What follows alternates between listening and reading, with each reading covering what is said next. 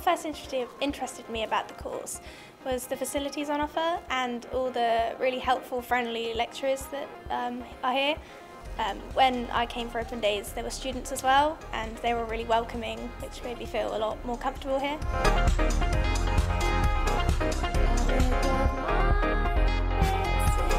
The facilities here, we have a fully working theatre with uh, lighting and sound, which is really useful for rehearsals because we can get the feel like straight away. We also have the dance studio, which is really handy to practice our dances in, to um, work out spaces, and it also provides us the opportunity to dance with mirrors, which we don't get in here. So it gives you an opportunity to see where you're going wrong, so you can improve.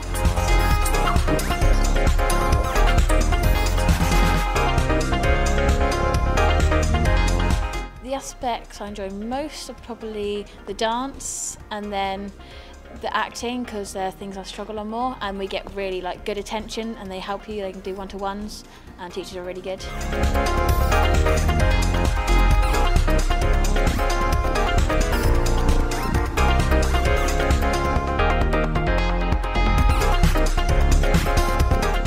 Uh, my favourite project was the final musical of last year. We did Our House and it was just such a sort of crazy experience to be part of and it was just so much fun and everyone really enjoyed it. I've learned a lot of breathing techniques for singing, a lot of contemporary techniques, just a lot of acting things that can help me out in the future. The skills I've learned is probably a lot of dancing. Uh, I wasn't a fan of dancing at all before I joined here, but it's given me a lot more experience and been more comfortable dancing really.